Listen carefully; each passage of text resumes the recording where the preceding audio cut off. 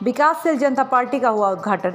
विकासशील जनता पार्टी के राष्ट्रीय अध्यक्ष मनोज कुमार शर्मा और राष्ट्रीय सचिव आनंद विश्वकर्मा के नेतृत्व में बक्सी मेमोरियल पब्लिक स्कूल के ग्राउंड में कार्यक्रम संपन्न हुआ। मनोज शर्मा ने बताया कि किसानों का शोषण बर्दाश्त नहीं किया जाएगा। जनता 2022 में ज़रूर जवाब देगी।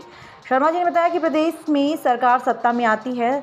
किसानों को बिजली बिल मुफ़्त करा दिया जाएगा। विकासशील जनता पार्टी द्वारा युवाओं को औद्योगिक फैक्ट्रियाँ लगाकर रोज़गार देने का काम करेंगे। जिसमें सभी ने संस्कृति कार्यक्रम का लुफ्त उठाया।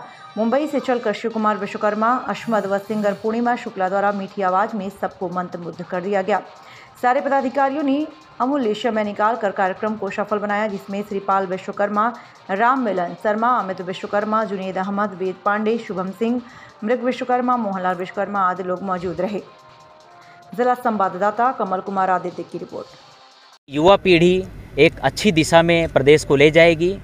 और हमारे वरिष्ठ लोगों का, हमारी पार्टी और हमारे लोगों, हमारी टीम के ऊपर बहुत बड़ा आशीर्वाद है और हम सब लोग मिलके आज हम सौ हैं। कल हज़ार होंगे, परसों करोड़ों में होंगे।